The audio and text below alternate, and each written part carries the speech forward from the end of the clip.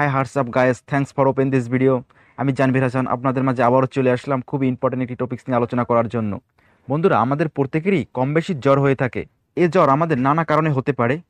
যেমন সিজন পরিবর্তনের কারণে, ঠান্ডা লাগার কারণে, ভাইরাসজনিত রোগের কারণে, অথবা বিভিন্ন রোগের পার্শ্ব প্রতিক্রিয়া হিসেবে জ্বর হতে পারে।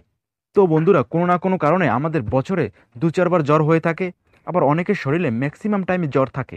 তো এভাবে যদি আমাদের বছরে চার, পাঁচবার জ্বর অথবা তারও বেশি জ্বর হয়ে থাকে, দেখা যায় আমরা ম্যাক্সিমাম টাইমে জ্বর দূর করার জন্য বিভিন্ন ধরনের অ্যান্টিবায়োটিক অথবা প্যারাসিটামল জাতীয় ওষুধ গ্রহণ করি।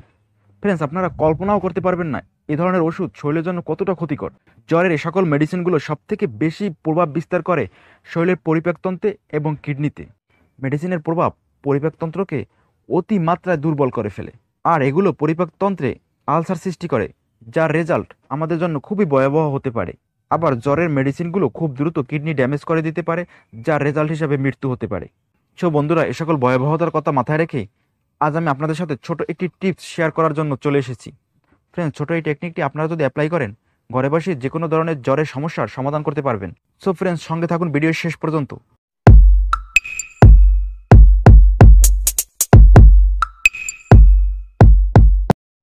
ওয়েলকাম ব্যাক বন্ধুরা। আমাদের এই টেকনিকটি অ্যাপ্লাই করার জন্য দরকার হবে চার পিস মালটার। ইয়েস বন্ধুরা, এই মালটা দিয়ে আপনি ইজিলি যে কোনো ধরনের জ্বরকে বিদে জানাতে পারবেন হান্ড্রেড পারসেন্ট এজন্য চার পিস মালটা ভালো করে ধুয়ে ধারালো চাকু দিয়ে ছোট ছোট পিস করে কেটে নিন, যেমনটা ভিডিওতে দেখছেন।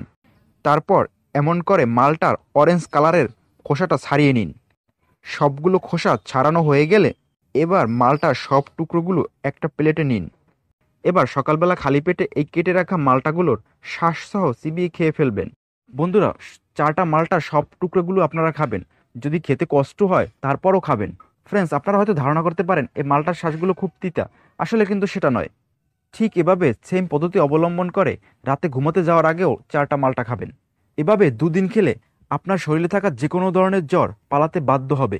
তো বন্ধুরা, আপনাদের যে কোনো ধরনের জ্বর হলে, কোনো ধরনের মেডিসিন গ্রহণ না করে এই থিওরিটা অবশ্যই অ্যাপ্লাই করবেন। আর এর রেজাল্ট দেখে আপনারা অবাক হয়ে যাবেন। তো ফ্রেন্ডস আশা করি ভিডিওটা ভালো লেগেছে।